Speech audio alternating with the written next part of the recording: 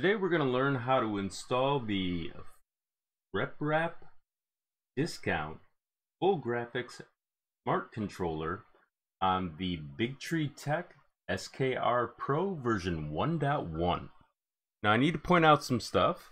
First of all, we have our EXP1 port here for our ribbon cable, and then we have our EXP2 port. Now on the front of this, obviously we have our display then we have our piezo buzzer. We have our stop button, or another way to call it is our reset button. And then we have our menu select knob that we can turn and then push down in order to select the menu option that we would like. Now I'm going to flip this over so you can see the remainder of the things that we need to worry about here. First of all, we have our EXP1 port in our EXP2, and then we have our SD card reader for loading prints. So to hook this up, what we're going to do is we're going to hook up, first of all, EXP1, and it has a notched connector that you're going to use right here. And you're going to match up the notches, and then you're going to basically just plug it in. And then you're going to do the same on the other side. Next, we're going to do the other cable. We're going to ma match up the notch connector again.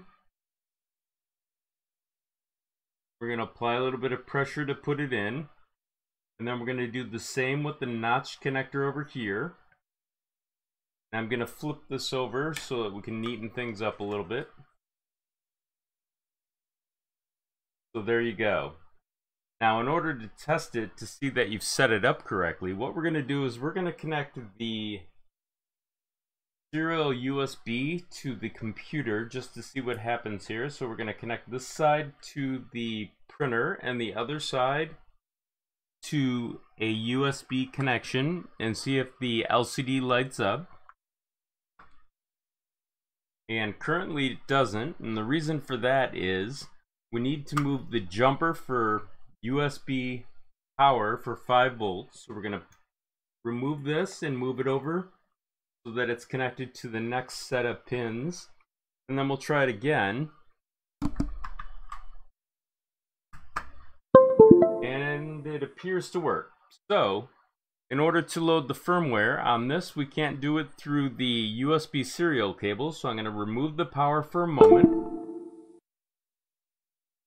Next, I'm going to get our USB micro USB SD adapter and I'm going to pop out the USB card for the TF drive and I'm going to plug it into here. Now make sure that it's in the unlocked position which is up. We're going to insert this into the computer and you're probably going to hear a beep. Now keep in mind all of this was purchased with my own money, and I'll leave links for Amazon affiliates so that you can figure out where to purchase these things. Okay, now that we have the SD card in the computer, we can see that we only have firmware on here. So I'm going to show you this in just a moment, but note the date and time. Now we're going to go over to Atom with PlatformIO loaded. Now I need to remind you of a couple things. First of all, this was downloaded from the Marlin firmware website. Then I unzipped it. Then I went to File and I did an open folder on the Marlin unzipped folder. So the next thing that we want to do in here, now that we have it loaded, is we want to go to the Marlin subfolder we want to go to the source folder. Then we want to go to the core folder. Inside here, we want to select boards.h. Now that we're on boards.h, we're going to do a search on skr underscore pro. And here's the board that we're looking for. It's board underscore bigtree underscore skr underscore pro underscore v1 underscore one. So we're going to copy this. Then we're going to close out of this. we're gonna fold this folder back up, we're gonna fold this one up, and we're gonna go to configuration.h. What we're gonna do is we're gonna do a search on motherboard. So we'll do a search on mother, and we wanna highlight board underscore ramps underscore one four underscore EFB, and we wanna paste what we just copied. Then we're gonna scroll up, and right here, where it says define serial port 0, we're going to change that to a negative 1. And then we're going to remove the comment for define serial port underscore 2. And we're going to change this to 1. Next, what we're going to do is we're going to do a search on LCD and SD and what we have here is a choice for languages. Now you have numerous languages to choose from. This one currently is defaulted to English, but you can do, let's see, Turkish, Ukrainian, uh, Russian, can do, let's see, uh, Espanol, and you can do Polish and a bunch of other languages. So I'm going to scroll down and show a little bit more here. You have the option to actually set up different character sets, such as Japanese and probably Cyrillic as it says right here. So keep that in mind. Then we have, uh, let's see, SD support. Now this board has SD support, so I'm going to remove the comment.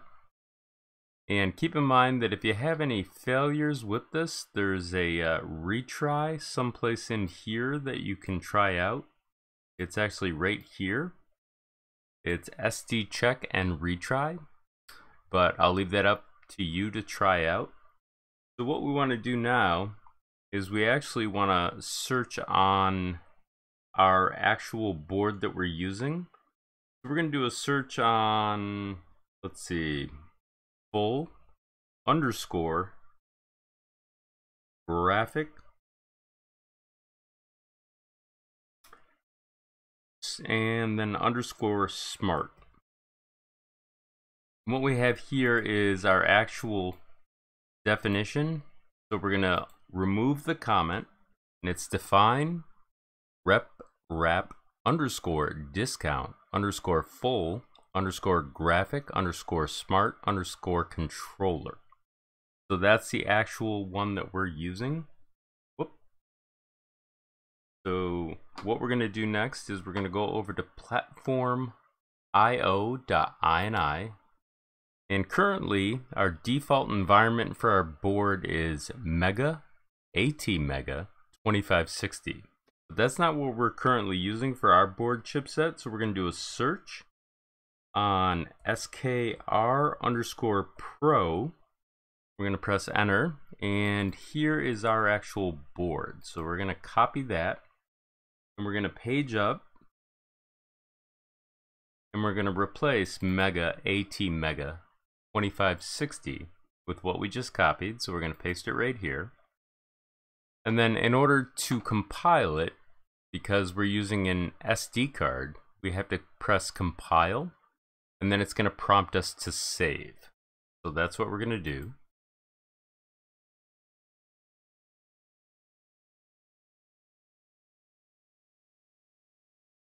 Okay, now that it's finished actually compiling, we're going to check first to see if it completed successfully. So we're going to go to PlatformIO and we're going to go to Toggle Build Panel. And as you can see, it says that it's successful within 3 minutes 24 seconds. So we're going to toggle that again.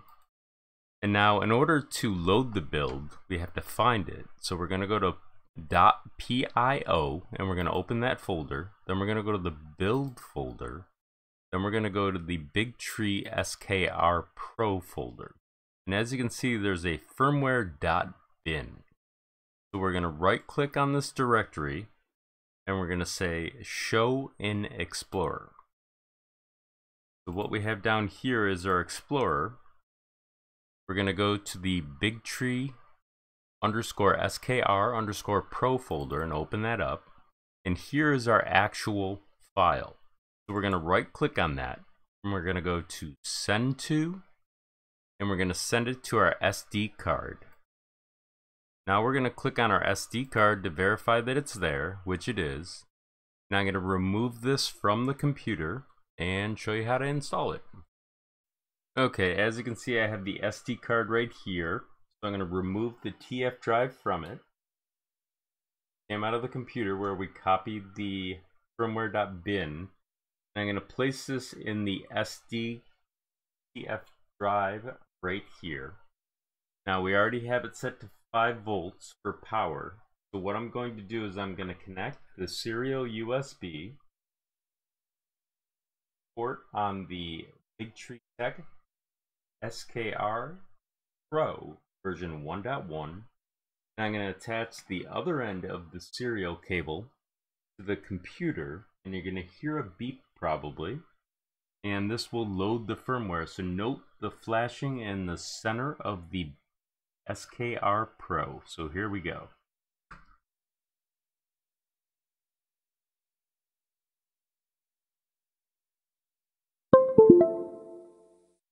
As you can see, Marlin blue screen is coming up and we have our display. So if you like my tutorial, please press the like button and subscribe and thank you for your time.